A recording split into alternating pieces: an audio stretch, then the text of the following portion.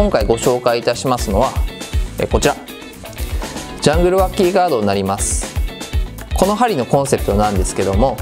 ストラクチャー周りに潜むバスを、えー、ネコリグやワッキーリグといったフィネスなスタイルでかけて取る針となっております、えー、ガードは V 字の形状記憶チタンガードを採用しておりまして、えー、特徴が3つあります、えまず1つ目は、え非常に壊れにくいです、えよくあるタイプの、えワイヤーガードですと魚を1匹かけただけで、え、よくガードが折れたり曲がったりするんですけども、え、このガードはこのように曲げても、え、非常に壊れにくいです、え一周回してあげたとしても、えなかなか壊れません。でまたガードの付け根なんですけども、え樹脂でコーティングすることによって、えガードが根元から倒れ込むのを防ぎ、えまたスレッドが使用中に傷つかないので、えー、ガードがずれたり外れたりするっていうのを防いでくれます。でまた根元に、え、ゴミがたまるっていうのも防いでくれます、え、2つ目の特徴なんですけども、え、優れたスナグレス性です。モノガードだったり、え、折れ曲がりやすいタイプのガードで濃いストラクチャーを攻めているとストラクチャーを抜けた時に、えー、ガードの戻りが遅いので、えー、次のストラクチャーをこの辺りで拾うかもしれないんですね、え、そうすると、え、ガード力というのはもうこれだけしか残ってないので、え、非常に引っかかりやすいです。この針のガードに関しましては、えガードが曲がった後に戻る力が非常に速いので、まあ、1つのストラクチャーを超えて次のストラクチャーに引っかかるまでに元の位置に戻っていやすいです。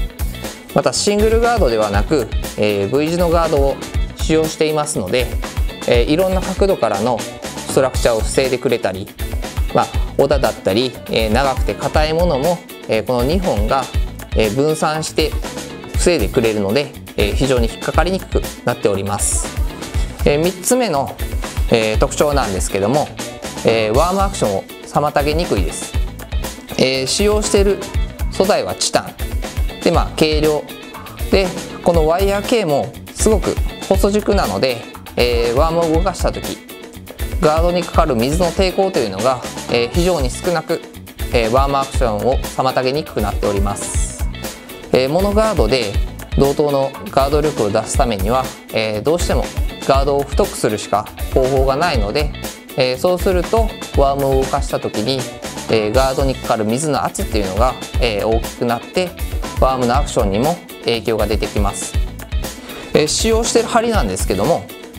えー、こちらのジャングルワッキーを使用しております、えー、非常にかけることにこだわった針で、え、魚がバイトしてきた時は、え、もう即合わせ巻き合わせでも、え、しっかりフッキングすることができます。なので、えー、このジャングルワッキーガードでストラクチャー周りを丁寧に攻めていただきえー、魚がバイトしてきた時は、えー、即合わせでフッキングしてください。そうすることで、えー、魚をより早く、え、ストラクチャー周りから引き離すことができ、え、キャッチする確率が上がります。この時に、えー、掛けにこだわった針を使用していないと、まあ、即合わせすると、まあ、すっぽ抜けたり、え、もしくはフッキングするために糸を送り込んでるとバスがその間にストラクチャーの根元に走っていきまあ、巻かれてしまいなかなか取れ取れないっていうことがね、えー、あります。やっぱりストラクチャー周りに潜むバスっていうのは、えー、ワームを加えた後その場にとどまるのではなく、えー、ストラクチャーの根元に走っていきがちです。なので、えー、魚がバイトしてきた時は